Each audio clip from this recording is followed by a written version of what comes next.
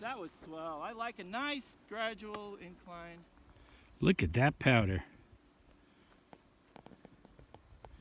Fresh tracks.